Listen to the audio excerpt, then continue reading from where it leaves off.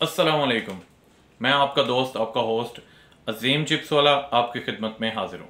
जैसा कि आप सभी भाई जानते हैं कि मैं आपके लिए छोटे छोटे बिज़नेस आइडियाज़ लेके आता रहता हूँ, जो कि आप पसंद भी करते हैं और आपको फ़ायदा भी होता है। एक ऐसे ही बिज़नेस आइडियाज़ को लेकर आज मैं आपकी खिदमत में हाजिर हूँ। अगर आप हमारे चैनल को फ़र्स्ट टाइम देख रहे हैं या मुझे फ़र्स्ट टाइम देख रहे हैं तो चैनल को सब्सक्राइब कर दीजिएगा। वीडियो अगर मालूमती लगे, अच्छी लगे तो उसको लाइक कर दीजिएगा और दोस्तों के साथ शेयर कर दीजिएगा।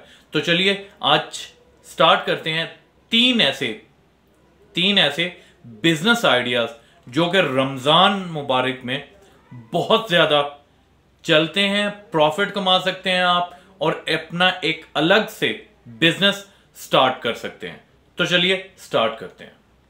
वालेकुम सबसे पहले मैं नंबर एक पे, जो प्रॉफिटेबल सबसे ज़्यादा रमज़ान में और सबसे ज़्यादा डिमांडेबल डिमांडेबल यानी कि लोग जिसको ज़्यादा, सबसे ज़्यादा हाथों हाथ खरीदते हैं, वो बिज़नेस बता रहा हूँ। सबसे पहला बिज़नेस है आपका खजूर का बिज़नेस डेट्स जिसको कहते हैं। उसमें तीन तरह की डेट्स हो सकती हैं। आपकी इंपोर्टेड हो सकती है सऊदी उसके बाद इंपोर्टेड हो सकती है ईरानी, उसके बाद पाकिस्तानी, ठीक है? जिसको असील भी कहा जाता है या सखर की खजूर भी कहा जाता है। अब इनको आपने क्या करना है? इनको, इनकी आप हाफ़ के जी की पैकिंग करें वन के जी की पैकिंग करें। इनमें सबसे ज़्यादा जो खाई जाती है, सबसे ज़्यादा जो पसंद की जाती है डिमांडेबल है, वो है ईरानी मजाफती खजूर। अगर आपको वो उसकी पैकिंग कैसे करनी है, किस तरह करनी है तो आप बैक साइड पे मेरे देख रहे हैं कि आपको वीडियो नज़र आ रही है। अगर वैसे आपको नहीं पता चल रहा मेरी इस वीडियो में तो अलग से वीडियो दो से तीन मेरे चैनल पे पड़ी हुई है। आपको कैसे पैकिंग करनी है, कितने की आपको पड़ेगी, कैसे है, उस पर जाके चेक कर लीजिए। उसके बाद नंबर दो। नंबर दो पे आता है हमारा बिज़नेस स्नैक फ़ूड आइटम का बिज़नेस स्नैक फ़ूड में सबसे ज़्यादा जो बिज़नेस होता है रमज़ान में, वो होता है चाट बूंदी का, जिसको नमकीन बूंदी भी कहा जाता है, चाट बूंदी भी कहा जाता है, पकौड़ियाँ भी कहा जाता है।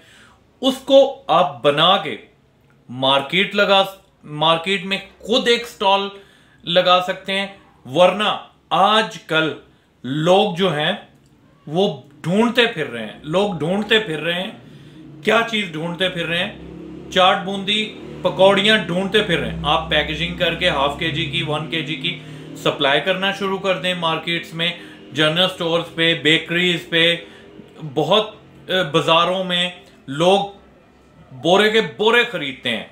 तो ये बड़ा बिज़नेस चल सकता है आपका। उसके बाद नंबर तीन पे, नंबर तीन पे भी स्नैक फ़ूड आइटम का ही आता है। लोगों को चाट, पापड़ी और भल्ले। भल्ले आपने सुना होगा। बेसन के भी होते हैं, दाल मूंग के भी होते हैं, मसूर के भी होते हैं माश के भी भल्ले होते हैं। मगर आपने कोशिश करना है कि आपके जो भल्ले हों, या तो आप मार्केट से खरीदें या खुद बनाएँ तो वो बेसन के ही हो। ज़्यादातर आजकल बेसन के ही पसंद किए जाते हैं। ये तीसरा बिज़नेस जो है, चाट, पापड़ी और भल्ले। इसको आप सिर्फ़ और सिर्फ़ रमज़ान के अलावा भी पूरा साल कर सकते हैं। इसकी डिमांड रहती है। चाट बूंदी की भी डिमांड रहती है। ठीक है? तो इससे आप काफ़ी हद तक प्रॉफिट कमा सकते हैं रमज़ान के सिर्फ़ दिन में।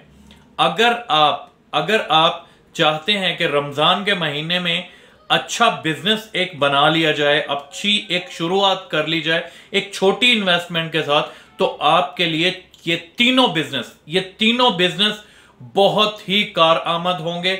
छोटी इन्वेस्टमेंट के साथ बड़ा मुनाफा है इसमें। तो आप आज ही स्टार्ट कीजिए। अगर किसी चीज़ की या रेसिपी की ज़रूरत होगी तो मुझे कमेंट्स बॉक्स में ज़रूर लिखिएगा। मैं आपको चाट बूंदी, भल्ले और चाट पापड़ी की रेसिपी पर भी वीडियो बना दूँगा। ठीक है? इससे ज़्यादा मैं आपकी और क्या हेल्प कर सकता हूँ कि आपको आइडिया भी दूँ और आपको रेसिपी भी दूँ।